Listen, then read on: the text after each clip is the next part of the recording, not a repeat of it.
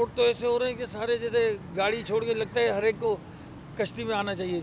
इतने रोड भरे हुए हैं। और हर हर तरफ़ नहीं, हर तरफ़ ही आ रहे हैं। कोई ऐसी जगह नहीं जो बची हुई हो। लोग अपने गाड़ियाँ तो को धक्के लगा रहे हैं। मोटरसाइकिल वाले बेचारे वो परेशान।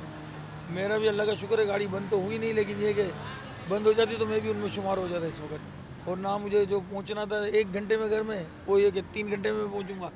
तो बारह अल्लाह ताला हमारी हुकूमत पर रहम करे।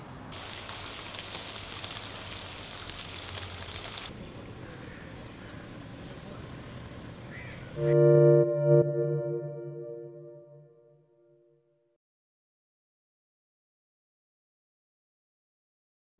biggest stories the moment they happen from around the globe. Subscribe to Bloomberg Quick Take now for insight in an instant.